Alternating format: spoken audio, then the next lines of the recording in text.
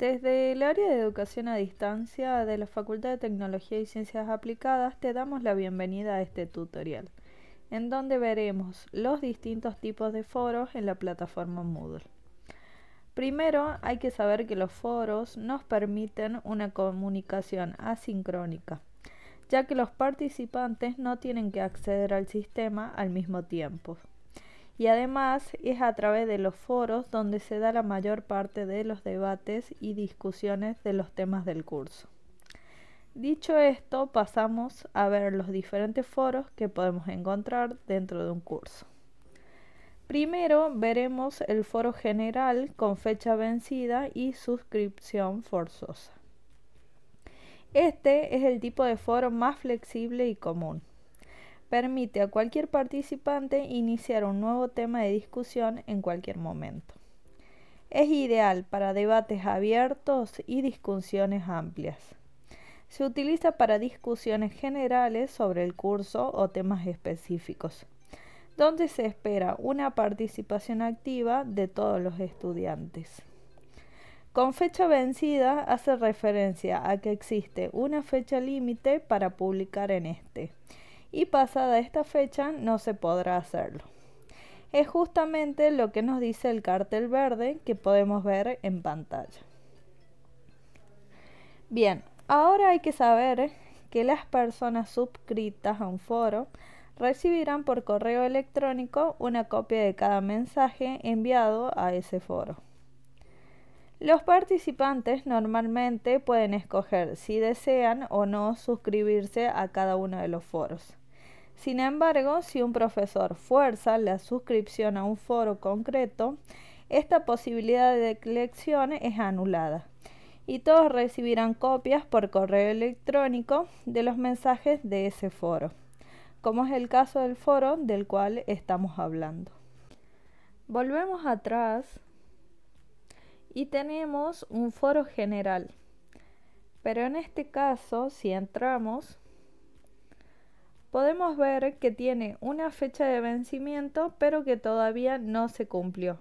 Por ende, podemos publicar o bien añadir un nuevo tema de discusión en este foro.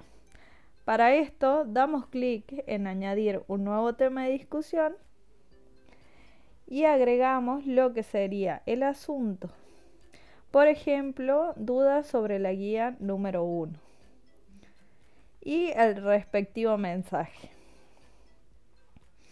Podemos ver que tenemos diferentes opciones para lo que sería el mensaje. Y además, si queremos adjuntar archivos, lo podemos hacer desde la opción avanzada. Una vez que finalizamos el mensaje, damos clic en enviar al foro. Y podremos ver que nuestra publicación aparecerá acá. En este curso, a diferencia del primero, tenemos una suscripción opcional. Si deseamos hacerlo, basta con ir al icono este, en donde podremos elegir. Luego encontramos un foro de debate sencillo.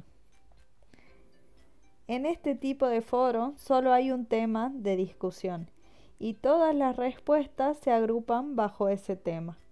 No se pueden crear nuevos temas dentro del foro. Es ideal para discusiones centradas en un solo tema o pregunta, donde se busca que todos los estudiantes se enfoquen en una única discusión.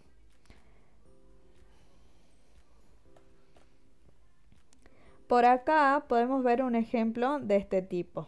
Se trata de una actividad asincrónica de un determinado tema, en donde los alumnos deben responder las preguntas planteadas se puede ver que no podemos iniciar un nuevo tema de discusión, solamente responder a la actividad.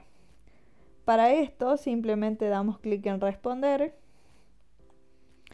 y luego clic en enviar al foro. Nuestra respuesta aparecerá acá junto a las demás. Se irán colocando bajo este tema como dije anteriormente. También tenemos un foro de preguntas y respuestas. Este foro está diseñado para situaciones donde el profesor formula una pregunta y los estudiantes deben responder. Los estudiantes no pueden ver las respuestas de sus compañeros hasta que hayan publicado su propia respuesta. Se utiliza para fomentar la originalidad en las respuestas y para evaluar la comprensión de los estudiantes sobre un tema específico. Seguimos y tenemos un foro en donde cada persona plantea un tema. Acá cada participante puede iniciar un único tema de discusión. Los demás pueden responder a los temas planteados por otros, pero no pueden iniciar nuevos temas. Se utiliza cuando se quiere que cada estudiante plantee un problema, pregunta o tema específico para que los demás lo discutan. Por último, tenemos el foro con formato de blog. Este foro presenta los temas de discusión de manera similar a una serie de entradas de blog, donde cada tema se muestra en una página separada con una vista previa de las respuestas.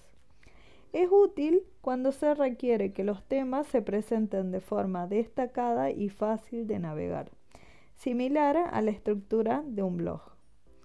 Por ejemplo, podemos ver en pantalla que agregué dos temas de discusión. Y si deseamos realizar un comentario sobre este tema, iremos acá.